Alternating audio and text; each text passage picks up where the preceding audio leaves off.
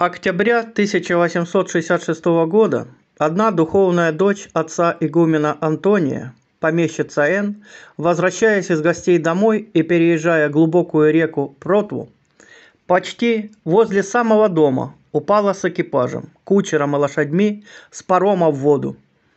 Коляска пошла с помещицей ко дну. Кучер, стоя на козлах, только головою был выше воды. Лошади то погружались, то выплывали, а помещица с экипажем с самого падения в воду не показывалась. Находясь под водой и осознавая свое ужасное положение, закрыв лицо муфтою, госпожа Н обратилась к молитве, но помощи долго времени не было, вода все более и более душила ее. Стала оцепенеть от холода и открылась сильнейшая боль в груди, ибо вода через рот устремлялась во внутренность.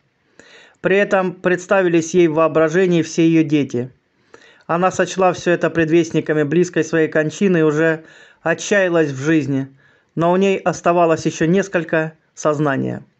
Она вспомнила об отце игумене Антонии и подумала, «Батюшка, я тебя всегда просила о христианской кончине, а теперь я умираю без покаяния». В то же мгновение ей представилось, что кто-то закрыл ей рот чем-то теплым – и затем она заснула.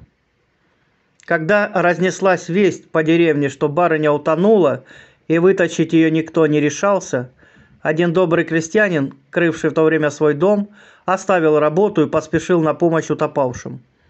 Отыскавший доской в воде экипаж и не нашедший в нем своей барыни, он стал искать ее на дне багром. Отыскал и вытащил без всяких признаков жизни. Сердце не билось и пульса не было слышно. Почерневшую ее отнесли в свой дом, одежда на ней вся обледенела, и ее нельзя было иначе снять, как изрезав на части.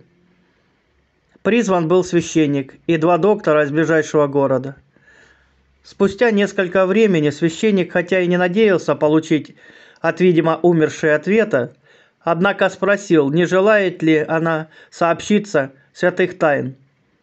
К удивлению всех, она открыла глаза и сказала «желаю».